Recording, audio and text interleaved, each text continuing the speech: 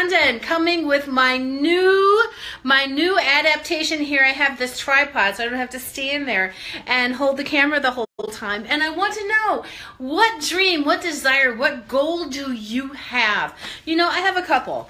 A couple that I have been cherishing for a very long time. One is to climb Mount Kilimanjaro and another one is really, really, really, really, really, really, really, really, really get me business off and running, getting really comfortable doing videos. That's why I'm doing all these Facebook Lives.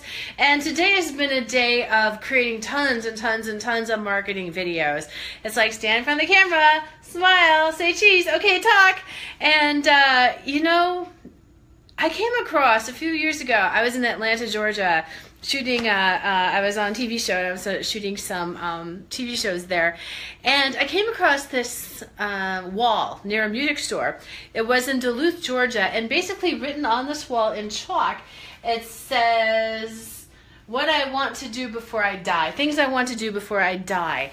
And I thought it was just the most amazing thing. And I was charged for it for the while. And then, you know, my my little my little engine that could lost a little momentum and some steam and i realized that you know it was 2008 when i decided that someday i'm going to climb mount kilimanjaro and now it's 2017 and guess what because i didn't set a date um, i still haven't climbed mount kilimanjaro. And it's so important that you know that our dream that we don't die with our dream still inside of us. And so what is a dream that you have? What is something that you want to to have happen? You know some of my clients some of my past clients you know they wanted to live long enough. They had been very sick um, with cancer and they wanted to live long enough to be able to walk their um, daughter down the aisle on her wedding day you know others wanted to be able to get on the floor and play with grandchildren and um, what is it? What is that? No desire is too small, and no desire is too large. You know, I wanted to paint and uh, do all kinds of things, and so I do paint. And one day I created that. Let me see if I can move this. That picture over there. I created this picture over here and I just put it up just the other day and it just reminds me of that calm inner peace. It reminds me that, wow, hey, I created something that's amazing. And um, I like art. I love to hike. And somehow I allowed my body to get pretty out of shape. And so here in North Carolina, my newly adopted state, I've been getting out in the morning and walking my dogs, and it's hot, and I'm like huffing and puffing as we're doing this hour and a half walk. And I'm like, whoa, you go, girl. You got a lot of hiking to do and a lot of stairs to climb to be fit. And so I'm challenging myself to look at the calendar and to see when would be a good time to climb Mount Kilimanjaro, to fit that into my schedule. And so, you know, there's just something that all of us would like to do. There's some kind of dream, and maybe your dream seems like it's so silly that you don't want to share it with others. And, you know, those crazy rebel friends that I talk about all the time, how many of you have those crazy rebel friends? How many of you utilize your crazy rebel friends? How many of you, here's a crazy rebel friend of mine, right there. Do you see him? Up oh, there he goes. He's camera shy today. Usually he loves to mug for the camera. Up oh, there he is again. Chester! He's mugging for the camera.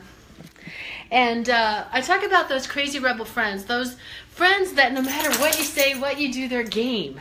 You know what I mean? And and they even call you out. They're like, "Wow, that sounds really crazy. That sounds like it's an amazing opportunity." And sometimes they might just say, "You know what? It really sounds weird, and I'm totally in for it." Those are the best kinds of crazy rebel friends to have. And um, you know, those dreams that are inside of us. You know, it could be a song, it could be a story, it could be a book, you know, it could be traveling to a different destination. I don't know what it is. It could be learning to meet all the people on your street. There's just so many things, and too many of us spend too much of our lives just wishing and hoping as opposed to actually getting into action and making things happen. And let that dream that you have become so real Let it become so big that it's what you talk about. I have a couple of friends that have some really, really, really big dreams and big goals, and they talk about it all the time.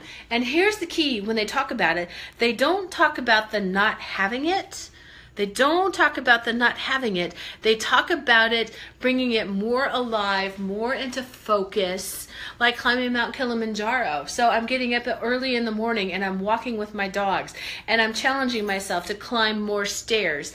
And then by next week, I'll be doing even more to get into shape to climb Mount Kilimanjaro because I don't want to just climb it. I want to get to the top. I want to be on the top. I want the view as the uh, sun rises, as the and I can just look and see everywhere. Because there was this song by Toto called Africa that was in the 1980s, and ever since I heard that song I just, you know, it's like I gotta be there. I gotta do it. And, you know, this is 2017.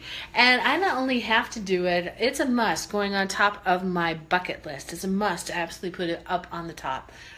And so, talk about your dream, your goal. Talk about the having of it.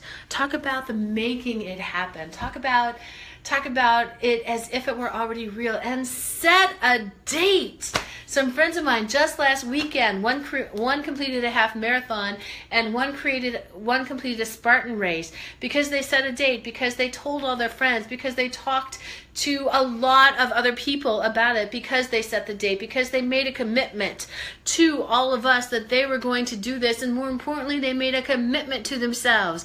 And so I am making a commitment to myself as I was creating all of those videos today for marketing my business. I'm like, you know what? I'm I am committing to climbing Mount Kilimanjaro and to setting the date. And so tomorrow I will have the date posted out on my Facebook page because it's time to stop dreaming about Mount Kilimanjaro and it's time to start climbing Mount Kilimanjaro. So, wherever you are in your business, wherever you are in your personal life, um, whether you're in business for yourself, whether you're working for somebody else, what are some professional goals that you want to make happen? Is it getting a higher degree? Is it learning a specific skill? What is it? Is it getting out there? Is it learning new marketing ploys, new marketing techniques? Do you want to get really comfortable in front of a camera? Do you want to do a lot of videos? Do you want to take a lot of pictures? What is it? Write it down, write it down, write it down, and please post it. Let me know. I want to know what your dreams are. I would like to know how I can support you.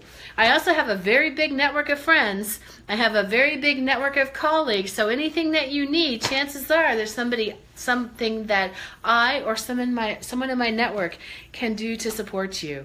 So, bring those dreams into reality. And what dream is it and when is a good time to make that happen? Please let me know. This is Lisa. I know it's short today. I've spent a lot of time in front of the camera today. I'm just a little bit tired. So, wherever today finds you, I hope you're having a lot of fun. Take care. Bye bye.